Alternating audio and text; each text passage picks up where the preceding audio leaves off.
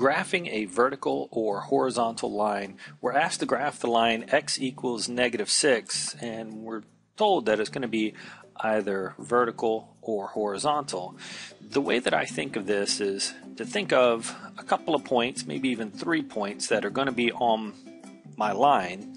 Since I'm told that x equals negative 6, that means that the x coordinate for all of my points on this line has to be negative 6.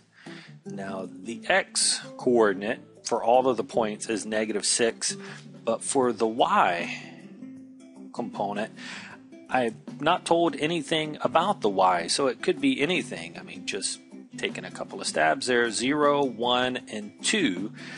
Since there's no y anywhere in the equation, that means y can be anything. So I chose 3, 0, 1, and 2, and my coordinates are then negative 6, 0, which would be right here, negative 6 to the left, 0 up and down, or even negative 6, 1, which is the second point, or negative 6, 2.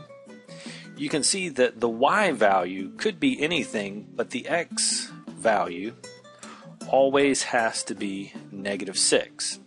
So if I were to connect these dots, I would see that x equals negative 6 is a vertical line through the value negative 6.